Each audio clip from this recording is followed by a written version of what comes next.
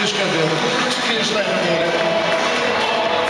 En ze is eh, top op tennis, omdat natuurlijk eh, de terrier tegen een stootje valt. Makkelijk hond, niet al te gevoelig.